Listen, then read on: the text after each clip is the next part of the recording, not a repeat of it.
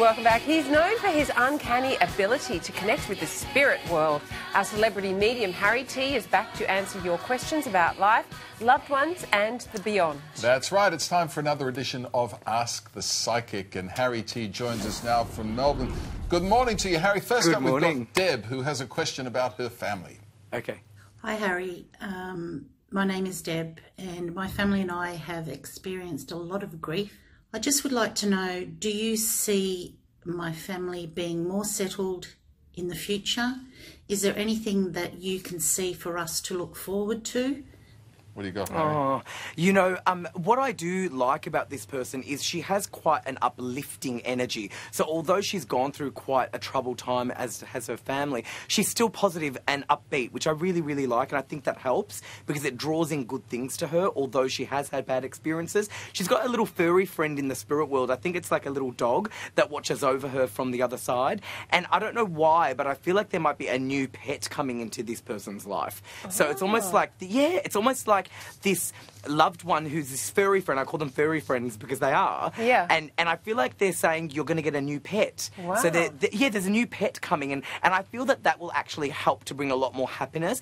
And there's something about March next year, uh, perhaps helping other people through the experiences that they have gone through. I see this lady um, either in a teaching environment or there's children around her that she helps. So I feel that she'd be very good at that, and also she gives good advice to people. So to continue on that pathway. But March next year feels good, and I don't know why I want to say this, but I feel she needs to write a book. Oh, okay. Don't know why, out of nowhere, but I think she needs to write a book. Well, our next question is from today extra viewer Rena.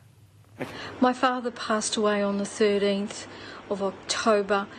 Uh, it's been a week and a half. Oh, my heart's breaking. Um, I'm trying to look for signs because I know with my Greek faith that he's somewhere here with us. And I'm scared. Can you help Harry? Oh. Yeah, poor Rena. We feel for her. Yeah, yeah, it, it, it's very fresh, and and immediately I was just struck with such an overwhelming presence of love, and her father watches over her from the other side with so much love. There was a very close bond between them. He he talks about perhaps her moving interstate, whether she lives in a different place to where he did, mm-hmm. and he thanks her for all that she did, even remotely. So I feel that perhaps she didn't live near her dad and he's thanking her for all that she did do. I feel that the funeral has happened, and I'm seeing, I don't know why, but I'm seeing Monday, so perhaps it was on a Monday, mm-hmm. and he thanks her for all that was done at the funeral service. He shows me the sun shining, so it was possibly quite a hot, warm day with a lot of sunshine, possibly not even a cloud, actually. Mm. And he's also giving me the, the significance of a butterfly and a bird. So I wouldn't be surprised if this lady sees butterflies and birds quite like obvious to her Yeah. As a sign from her father. And I don't know why, but I'm getting the name George or Georgia, and he's around someone like that. It could possibly be uh, like a child, a grandchild of his, and it might even possibly be this woman's child, but he's watching over this person as well. Gee, we hope that helps, Rena. Yeah. Yeah. Fascinating. Leslie uh, wants some insight into her uh, future, Harry. Hi, Harry. I was hoping you'd be able to tell me what's in what, what what's in store for me because I just don't know. I just don't know. Thank you. Goodness.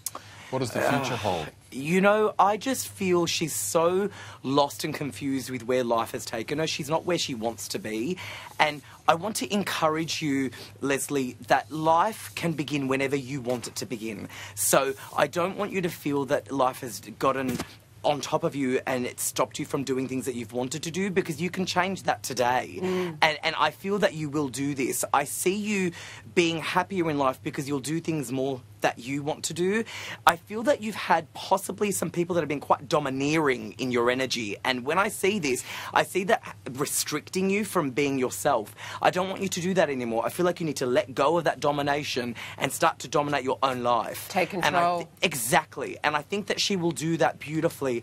And I see her spending more time in meditation, and that will help her to get more clarity. And I don't know why, but Easter time next year feels quite colourful. So it's almost like um, the chocolate and Easter eggs and all of that. It feels quite colourful. So she might hear good news, mm-hmm. and I feel that she'll start to look at life in a different way, from a different lens. And I think that will be very helpful for her.